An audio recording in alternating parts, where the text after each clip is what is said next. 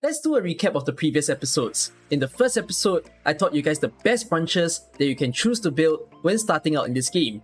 And then in the second one, we learned the building process of these operators, how should you cater to their levels and their skill ranks. And now, in this third episode, we're gonna integrate the knowledge that we gained from the previous ones to then learn what should a new player do throughout their first few starting months of the game. This episode's topic is on account progression and is probably the best advice that any new player want to hear about. So let's get started. The first thing I want to talk about is account level because it fits very well in the topic of account progression. A thing that some players may be curious of is does account level affect your game? The answer to this is no, it doesn't affect your gameplay all that much. The only major thing that it affects is the sanity cap. So when you first begin the game, you have a maximum of 82 sanity that can hold. Each time that you level up, you'll be raising the sanity cap yet again. At the early point of the game, every player account level will raise your sanity cap by 1. But then later on in the game, you'll realize that it takes every 5 levels to raise the sanity cap yet again. Sanity refreshes at the rate of once every 6 minutes, meaning to say that within 1 hour, you get 10 sanity. If we put for instance you're a new player, and at the current moment, you have a maximum sanity cap of 100. You use it all at once within a particular day, the next time that you'd have to log in would be within 10 hours. That is if you don't want to overcap your sanity, because by the time it hits 100 of 100, then you won't be regenerating any more sanity that you can spend in the game. So if you have a higher player account level, you can go all the way up to a sanity cap of 120 or even 135 at the late end of the game. That will allow you even more leeway as to the amount of time that you need to take to log in, within 12 hours or even 13.5 hours. So what you're meant to understand from this is that player account level will not affect the progression you have in this game. It's not that you have to reach a certain level in the game in order to have, say, chapter 4 or chapter 5 unlocked. Instead, the way that the game progresses is based on how much you can clear the stages of the game. The more stages you can clear, the more story chapters will be unlocked for you to play, and the more comfortable you're gonna feel to play the events of this game. In order to clear more stages in the game, you're gonna need two main ingredients. The first one is to build your operators properly, as you see in the previous two episodes that I taught you guys in. The second one is your brain. This game will need a little bit of dedication, where you bother to read the mechanics of the game, bother to appreciate what both your operators and the enemies do, and with that idea, be able to come up with wonderful strategies that will beat the stages. Nonetheless, still on the topic of account level, they can still be a good gauge for where you should be within the game. Now, how long does it take to reach certain player account levels? For those of you who are new, you may see a lot of triple digit players who are beyond level 100, how long do those levels have to take? For those of you who have never known, I've made a simple table for you guys to reference to. In all of these respective account level range, I've indicated the usual amount of time that it takes to reach those levels. On the right end of the scale, that is usually how long it takes for a free-to-play player. And then on the left end of the scale, that is if you're a monthly card user and you've been paying every single month. If you've been playing this game for a long while and you fall out of the usual time range, if let's say you're taking a shorter time than the range that I stated, it most likely means that you're either using your sanity pack super efficiently or if not, you're using Originite Prime to refresh your sanity. If you're past the right end of the range, meaning you're taking more than the usual time, it probably means that you're either not playing every single day, so you're skipping some days out, or overcapping your sanity here and there. Simply put, a non-efficient use of your sanity. If you've quit the game for a while, of course you're gonna fall off that usual range. I often get asked as to what do I consider as a new player, a mid-game player, and a late-game player in this game. So I get to answer that in this video. In my opinion, a new player is someone with an account level between 1 to 60, meaning to say that they're playing the game for about 3 months. For a mid-game player, it'll be an account level of between 60 to 90. And then for someone to be considered late game, they'll either be beyond level 90 or beyond level 100. For those late game players, it'll mean that they've been playing the game for close to a year or slightly over a year. Now I can draw us into the meat of this video, as I've mentioned that this video is best for new players. Let's dive deeper into the first 3 months of experience.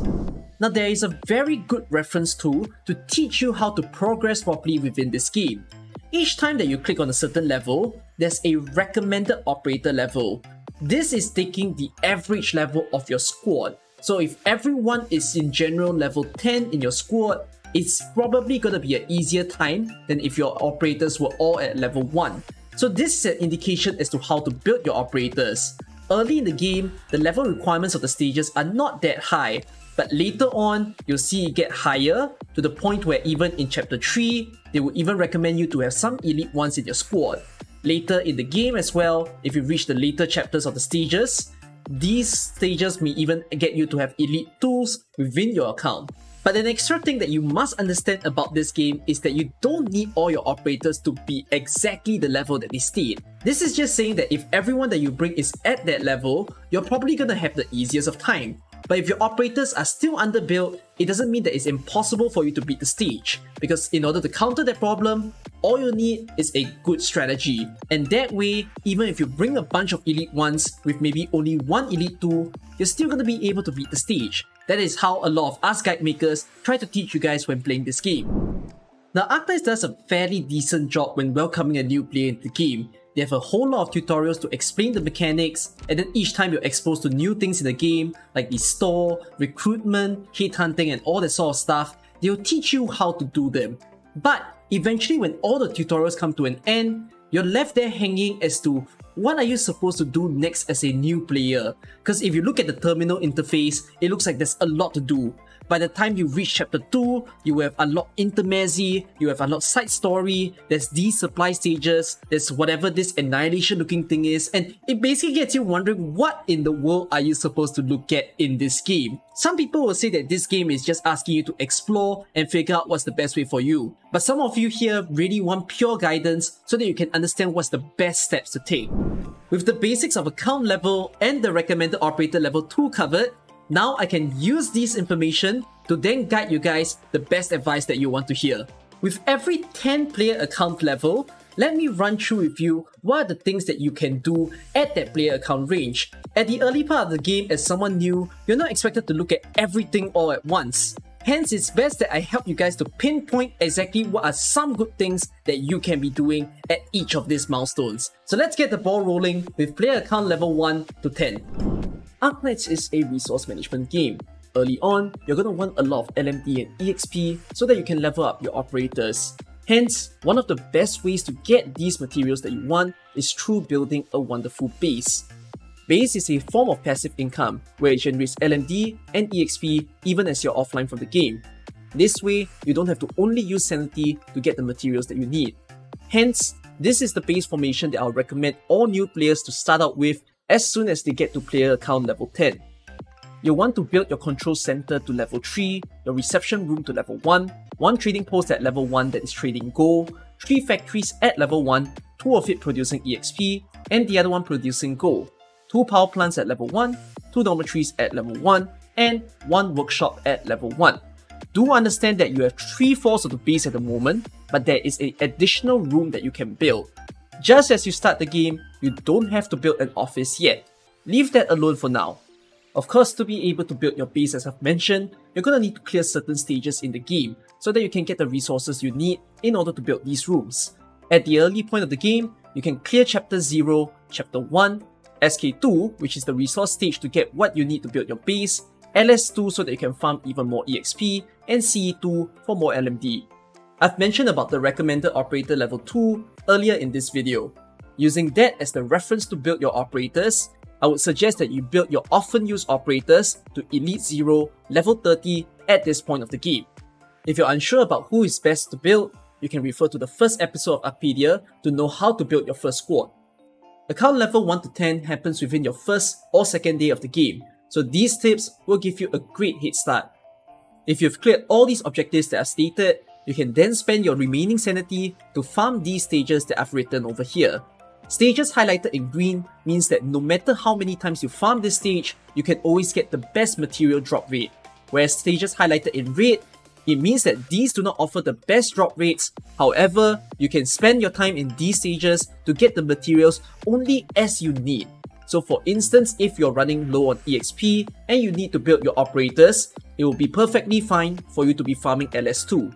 Ensure that you don't spend too much sanity in the raid stages because there are better farming stages to come after this. Moving on to account level 10 to 20. This time around, you want to further improve your base to generate even more passive income. so spend your building blocks to level 2 all the existing rooms of your base. You can use this picture as reference for what I mean, and again, try not to build your office just yet. Next up, you'll want to clear even more stages this time around because you're having a stronger account. So clear off chapter 2, SK3, LS3, CE3, CA3, the first chip stages, and this is the best time to start farming those Orundums, so clear off Annihilation 1 as well. In order to clear these stages, there's a higher level ceiling to beat. So this time around, the recommended operator level will be Elite 0, maximum level, or Elite 1, level 10. This is also a good time to start focusing on your skill ranks.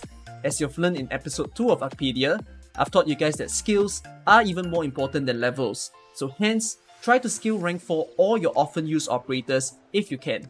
All these will happen within your first week of gameplay before you hit player account level 20. Just as I've shown you guys the farming stages earlier, allow me to also show you what stages you can choose to farm when you're at this level range.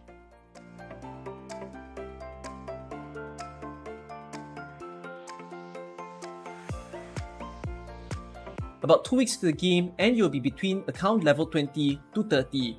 This time, we'll further expand the base by building the 4th floor of the base. You'll be building another trading post trading gold, another factory producing gold, and one more dormitory as well. Do note that there are two more rooms that I've not told you to build, one being the training room and the other being another room of your choice. I'll explain this further later on, but just don't build these rooms that I've not mentioned. In terms of clearing stages, there are even more for you to do. You can clear off Chapter 3, SK4, LS4, CE4, and CA4. Again, level your operators as you need to clear the stages, with the recommended operator level being Elite 1, level 30 to about level 40. This time around, please have your operators already at skill rank 4, otherwise you aren't experiencing the true powers that your operators can have. By clearing even more stages of the game, you've unlocked even more farming stages that you can experience, which is why the list of stages that you can farm is greatly expanded.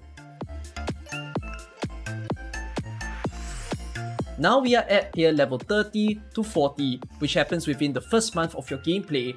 This will be a brilliant time for you to continue working your base.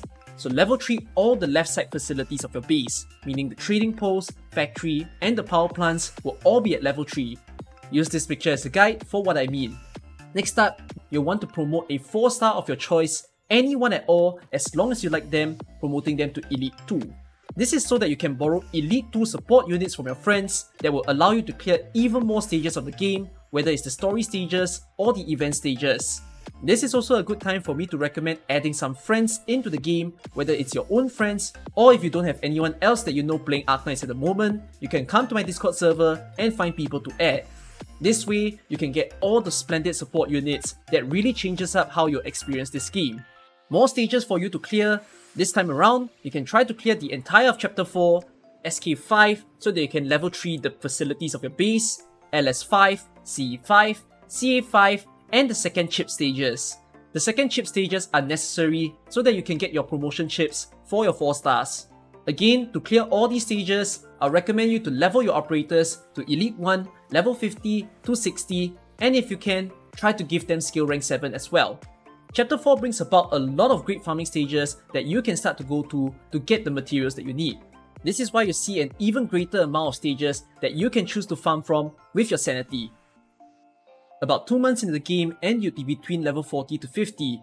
At this point, you should finish building your base. However, I'm not gonna tell you how to do that just yet. Please watch the base episode that will come very soon. During the episode, I'll teach you how to fill up the remaining rooms of your base, letting you know which is the best formation to have, whether it's 243 or 252 that you may have heard about. This is also a perfect time for you to start building some of the really strong 6 stars within your account all the way up to Elite 2. Now allow me to explain what I mean by really powerful 6 stars. You may have heard of the term meta before. Meta are considered units that are really powerful by the community. These are either people who can clear a large amount of mobs or if not, they are boss killers, a single tap of their skill, and the boss can just vanish from the map. Now for one, I'm not someone who likes to recommend meta operators to players, because I do feel that eventually over time, it can ruin the experience of the game as it can make the game feel extremely easy to play. But I understand that early in the game, as a new player who has just entered, the game can be very overwhelming to play, and therefore, having one, if not two meta operators could ease up your game even more and allow you to enjoy it much better. Hence, that is why I recommend to build at least one meta 6 star at the start of the game. Later on, the more that you play, you don't need to put so much emphasis on collecting them all, because collecting them all will simply make all stages look really simple to play, and that can take away the strategy aspect of this game. The joy of Arknights is the ability to use any operators that you want and to see them perform magic in helping you clear so many of the stages using the power of your brain to strategize great techniques. In any case, let's take a look at this list over here. Now I won't go about explaining how each operator is placed in the roles that I've written, but I'll explain the meaning of the roles. At the top over here, you can see the term soloist. These are the typical operators that you see in guides of Arknights. If you're someone who has been watching a lot of stage guides and you see us borrowing one particular 6 star, commonly these will be the 6 stars that many people will choose to borrow. So there's common faces like Silver Ash, Ayer, Blaze, Taunt, Surtr, Mudrock, Kal'tsit, Chen Alter, and Ling. These are people where if you bring them as the only 6 star while pairing them with other 3 stars and 4 stars, you can find that all stages in the game are pretty much clearable. And that is why I do consider them the strongest of the bunch. Whereas in the second row, these are what I call power supports. These are operators that I feel are very easy for new players to understand, and yet at the same time, once you choose to build them to about Elite 1 or even Elite 2, you'll feel that they are extremely powerful to play with. So, at this point of player level 40 to 50, I do think that you have quite a few 6 stars by now, and you're bound to at least have one 6 star either in the first row or the second row that I've done over here. So if you can, look at who you have and choose to build one of them to Elite 2. Now what about the 6 stars at the bottom over here, where I've not placed them in any rows? Does that mean that these are weaker 6 stars that no one should care about? It's not exactly that. Some of these 6 stars over here are even more powerful than the ones that I listed above. However, I've got my own reasons for not recommending them, specifically for new players. Some of them could not be as intuitive to understand. The first time that you pick them up, you may not immediately see what's the use of them in your squad. But after taking some time to learn their kit, you can then unlock their true potential. Some of them can play very supportive units, where you might want to have some other 6 stars first, and then by pairing these 6 stars with them, you can then see your entire team working together and having a great amount of power. Hence, these aren't bad 6 stars at all. Instead, these are 6 stars that I just wouldn't recommend to new players. If you hit about player level 70 or 80 and you have some people over here that you want to build, you are definitely free to do so because at that point, I do think you have a much better account and building anyone at this point will simply not hurt you at all and instead bring more fun to your game. But of course, despite my advice, if you still want to build any of these 6 stars as your first or second 6 star, please go ahead and do so, because this game is not restrictive at all, you can simply play it with anyone that you want. So anyways, go ahead, remember to elite to your first 6 star, and if not, let's get back to the tips. Now for clearing of stages, I'm not expecting you to clear the entire chapters. Clear chapter 5 up until S59 and chapter 9 up until 910. This will unlock the remaining important farming stages that you need in the game. At the same time, also clear AP5 so that you can get the chip catalyst that you need to promote your 6 star to Elite 2, and finally, Annihilation 3 along with the rotating Annihilations in order for you to experience the best stages to farm your Orundums. As usual, the level requirement will be raised, so I recommend your operators to be at Elite 1 maximum level, but prioritize their skill ranks to be at skill rank 7 first before you level them up. Of course, these tables will show you the best farming stages at this player level range.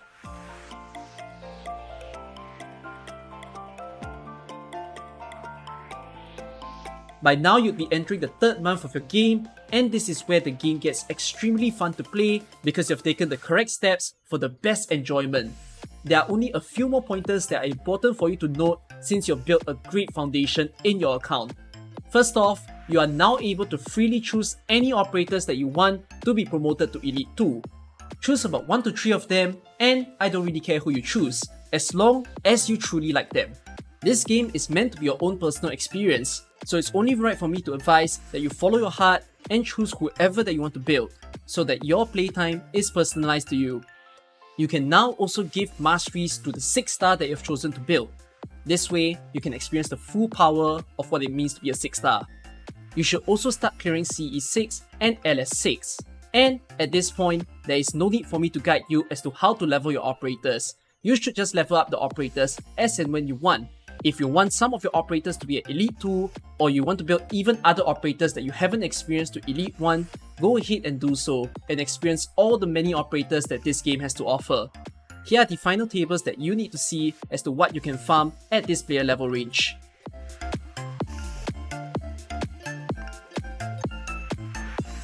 So, beyond level 60, what are you supposed to do? What's the next best tips that you can give me, Kukkikaze?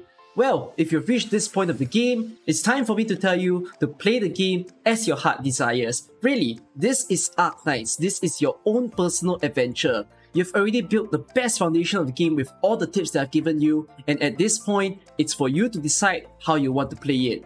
Build any operators that you desire, give yourself all sorts of challenges, and clear all these stages that you have not yet to do. The most important tip that I have to give you is play the game in a way that you can have fun.